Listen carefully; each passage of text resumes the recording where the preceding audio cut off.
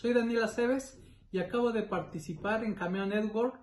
al lado del periodista Hussein Forzán, de Rommel Pacheco, extraordinario clavadista mexicano, de Vanessa Zambotti, una de las mejores judocas en toda la historia de no solo de México, sino de América, y también con quien nos va a representar en los Juegos Olímpicos de Tokio nado sincronizado, Joana Jiménez. Hablamos sobre lo que representa para el deporte mundial y mexicano la postergación de los Juegos Olímpicos y Paralímpicos, las implicaciones no solo en el fondo físico, sino también psicológico, y la necesidad del mundo de tener unos Juegos Olímpicos como un bálsamo a lo que estamos viviendo en torno a los problemas sanitarios de COVID-19 y sobre todo a la gran depresión económica que se avecina. Un abrazo muy afectuoso.